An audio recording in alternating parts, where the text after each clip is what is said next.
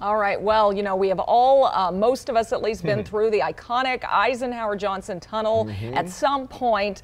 Of course, you may not know or appreciate the backstory of how this feature of most of us, uh, for, for most of us in Colorado, came to be. Yeah, I don't see how you hold your breath through the entire That- thing, though. That's a little Kids bit long. growing up Yeah. here know know what I'm talking about. Uh, they, that you try to hold your breath through the tunnel. That's a long way. I never Uh, made it. uh, I never made it. Denver yeah. 7 transportation expert Jayson Luber has been at the tunnel, is now in the in the belly of the beast here, and joins us with this sneak peek inside.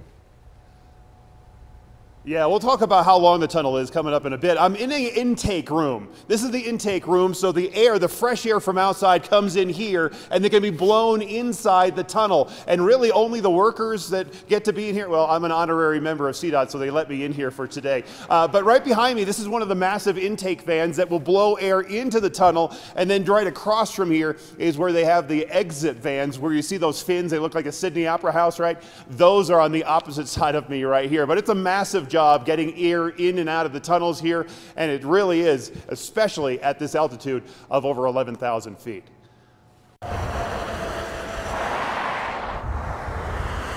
It is a 24 7 operation, not only maintaining it and maintaining the roads in and out of the tunnel. maintaining the free flow of traffic in and out of both sides of the Eisenhower Tunnel. And it's this what most people see on their trip through the tunnel.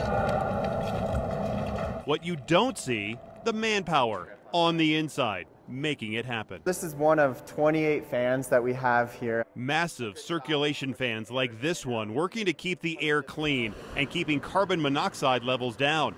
With the thousands and thousands of cars and trucks passing through on a daily basis, each able to generate hurricane force winds. It's capable of about 500,000 cubic feet per minute airflow. Uh, these are in case of emergencies. If there's a fire in the tunnel, we can ramp these guys up and uh, pump a bunch of smoke out and or anything else that we need ventilation wise. I call this the submarine door. Our tour on the inside showing one of the countless tunnels, a maze of openings and walkways running the length of the tunnel, almost two miles wide east to west. This is actually the plenum above the road deck here. So we're gonna be above um, of traffic. You see the top of the tunnel right here.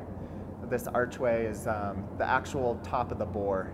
This, just one of the areas workers use every day to ensure everything is safe for the daily operations, both on the outside and the inside. We are red right now. This is kind of the nerve center of the tunnel. We're in the control room. Uh, we're monitoring all traffic uh, going east and westbound. It's where CDOT crews keep an eye on you and the traffic below, monitoring for crashes, stalls, and counting cars. Somebody's in the room all the time. That's going down to the Loveland Bridge. You can see the ski area. There's Loveland Pass. There's Loveland ski area right there. monitoring traffic and on the lookout for emergencies.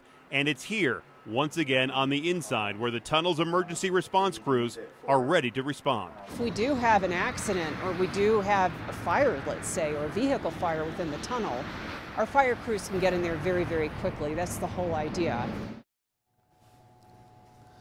And, they can use these fans to blow all that smoke out of here very, very quickly. These are one of the fans. This is one of the intake fans right here behind me, and that's why it's so cold in here because it's just bringing in the outside air. Uh, and uh, it's the same as it was 50 years ago. So really, the technology hasn't changed in 50 years uh, that we're seeing today. All right, trivia time, guys. A lot of uh, electronics. Uh, obviously, electronic uh, stuff here and uh, electricity being used. What do you think the average monthly use of electricity is? How much do you think they spend per month on electricity here at the tunnel? Oh my gosh, it's got to be thousands. Yeah. Some. I don't know. Two. Ten. Yeah, Ten. 5,000 a month. I don't know. Uh, uh, I- I try 70. Seventy thousand. Over a 100. Oh. Wow. Wow. Yeah. Sometimes when they're running these fans full bore, they'll be running $100,000 plus of electricity per month. All right, Jason, That's you're incredible. educating Yeah, us today. it's amazing. With this trivia. Thank you.